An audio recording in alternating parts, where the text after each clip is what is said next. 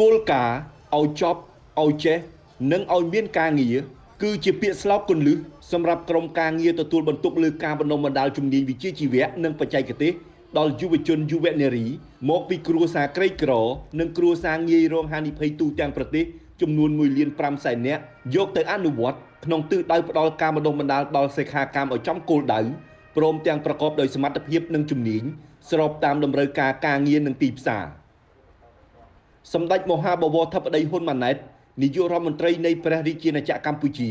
ថ្លែងសារគន្លឹះសំខាន់សំខាន់ក្នុងពិធីសម្ដែងសម្ដាល់ជាមួយកម្មករនិយោជិតចំនួន18190នាក់មកពីរោងចក្រសហគ្រាសចំនួន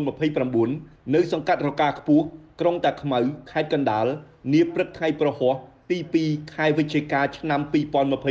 2023ក្នុងនាមជានាយករដ្ឋមន្ត្រី និងជាអ្នកនយោបាយគឺត្រូវទទួលបន្ទុកធ្វើគោលនយោបាយ រៀបចំផែនការចាត់តាំងអនុវត្តតាមដានត្រួតពិនិត្យការអនុវត្តនិងធ្វើការវិយតម្លៃដើម្បីធានាដល់ប្រសិទ្ធផលសម្រាប់ជាតិនិងប្រជាជន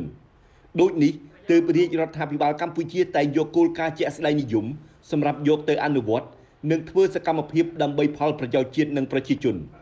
ក្នុងន័យនេះនាយករដ្ឋមន្ត្រីចាំបាច់ត្រូវខិតខំរៀបចំគិតគូរផែនការគោលនយោបាយ ហើយពន្យល់និងបកស្រាយដល់ប្រជាពលរដ្ឋឲ្យបានដឹងនិងបានយល់ជ្រាបច្បាស់ថា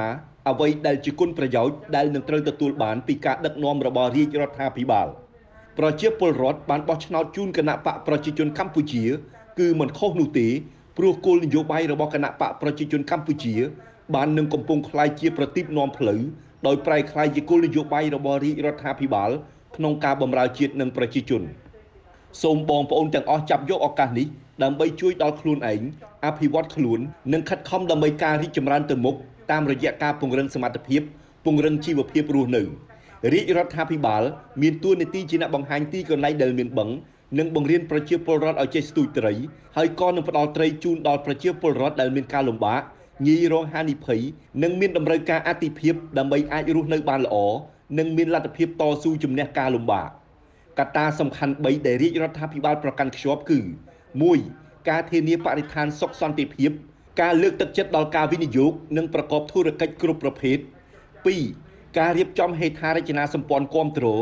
និង3ធនធានមនុស្សសុខភាពនិងចំណេះដឹង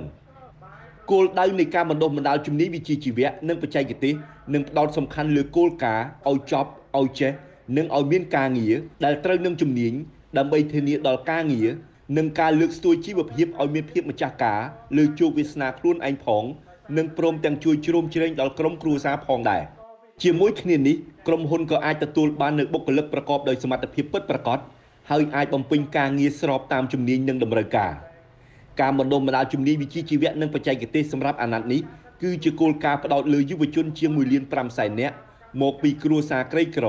និងគ្រួសារងាយរងហានិភ័យដោយត្រូវ ទី1ការរៀបចំការចុះឈ្មោះដែលត្រូវធ្វើឲ្យងាយស្រួលទាំងផ្ទាល់និងអនឡាញ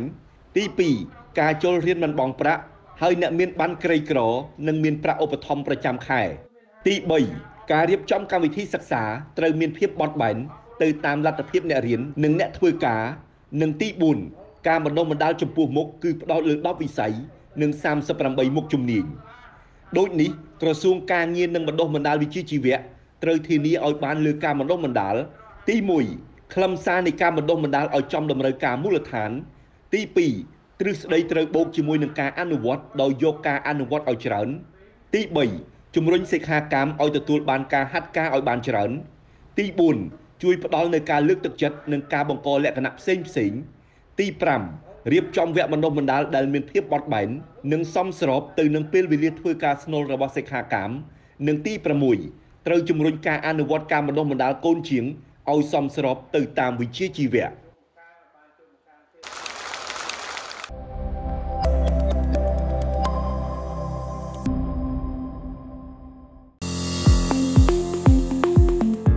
ជំរាបសួរសាលារៀន Grand View សូមស្វាគមន៍សូមជូនដំណឹងដល់មេដាបេដាសិស្សឬអាណាព្យាបាលទាំងអស់ដែលមានបំណងចង់នាំបុត្រធីតាមកចុះឈ្មោះចូលរៀននៅសាលារៀន Grand View សាលាក៏មានបន្ថែមជូននូវឈុតកីឡាមួយឈុតឬក៏ឯកសណ្ឋានមួយឈុតផងដែរជាពិសេសសូមមេដាបេដានាំបុត្រធីតាមកចុះឈ្មោះឲ្យបានរួសរាន់និងទាន់ពេលវេលាហើយសាលាក៏មានទីធ្លាធំទូលាយបន្ទប់រៀនមានផាសុកភាពល្អ